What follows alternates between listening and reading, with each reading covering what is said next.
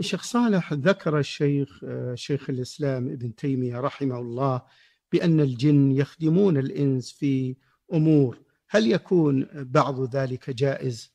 هم يخدمون الإنس ليضلوهم ولا يجوز أن يعتمد الإنس عليهم أنه كان رجال من الإنس يعوذون برجال من الجن فزادوهم رهقا فلا يجوز الاعتماد على الجن.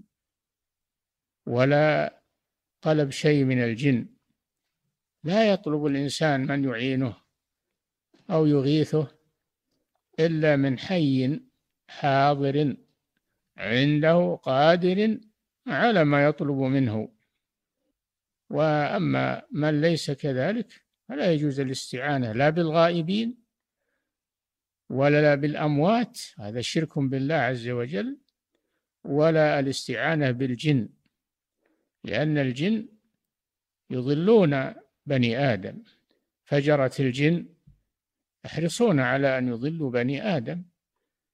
كما قال جل وعلا ويوم يحشرهم جميعا يا معشر الجن قد استكثرتم من الإنس. وقال أولياؤهم من الإنس ربنا استمتع بعضنا ببعض بلغنا أجلنا الذي أجلت لنا. قال النار مثواكم خالدين فيها إلا ما شاء الله. إن ربك حكيم عليم.